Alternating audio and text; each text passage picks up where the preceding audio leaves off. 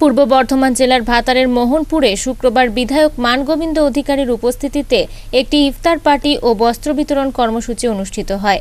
ভাতার পঞ্চায়েত সমিতির দলনেতা বাসুদেব যশের অভিযোগ, কিছু তৃণমূলের বেশধারী মানুষ মিছিল করে বিধায়কের অনুষ্ঠানটি নষ্ট করার চেষ্টা করে।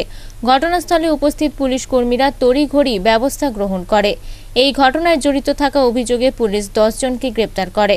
শনিবার ধৃত রামু বাগদি, ইয়াসমিন কাজী, শেখ নয়ন সোম মাঝি, হারাধন কাজী, সমীর কাজী, ইবাদাত কাজী শ্যামল দাস, বুদি বাগদি ও যশবুদা বিবিকে বর্ধমান আদালতে পেশ করা হয়।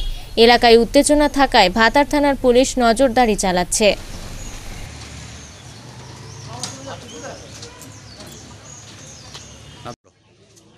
আমাদের ভাতার বিধায়ক মানগোবিন্দ অধিকারী নির্দেশ মতো এই যে পবিত্র রমজান মাসে ভাতারে চোদ্দোটা পঞ্চায়েতই প্রতিদিনই আমাদের ইফতার পালন হচ্ছে। সেই মাফিক ওখানেও ওখানকার কিছু বিশিষ্ট ব্যক্তিজন এবং দলের অনুগত কর্মীরা একটা ইফতারের আয়োজন করেছিল এবং তার সঙ্গে বস্ত্র বিতরণের ব্যবস্থা করেছিল। কালকে দুই জায়গায় আমাদের কর্মসূচি ছিল।